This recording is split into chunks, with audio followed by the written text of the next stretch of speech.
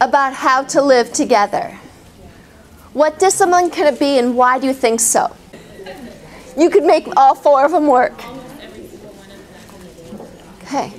So when you're thinking about that too, and how you're saying, oh, I can make all four of those work, then here's what I would do. I would have a focus of which one you're going to do for each one of them for this reason, okay?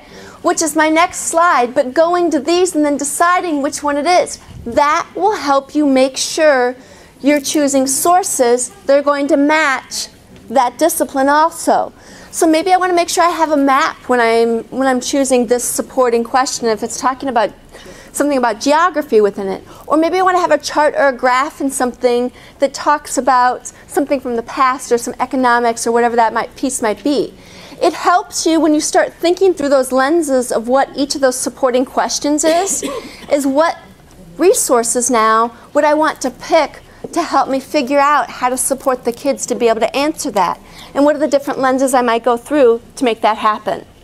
Okay. How about how do we deal with scarcity?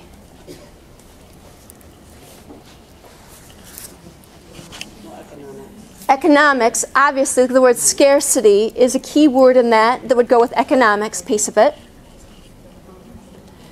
And depending on what the scarcity is, it might fit another one too. Okay? How do people and places influence each other? Geography would make the most sense there also when we're talking about people and places. I also, when I see people, it also makes me think of civics and how people get along and work, can work together with rules and stuff that way too. What happened in the past and why? That makes sense for um, a history one too. So, when we think of that, you can generate questions no matter what the item is. Even if you thought of this parking sign right here, you can actually develop questions through those points of view about anything. So, if you were to create a question as a historian, a geographer, economist, political scientist, or an activist about this sign right here, what would be four questions you could do? Right? That's what you're going to do in your group right now.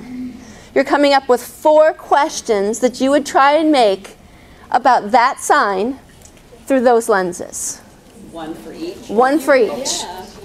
You've got it. Yes. So you're going to have four questions total by the time that you're done.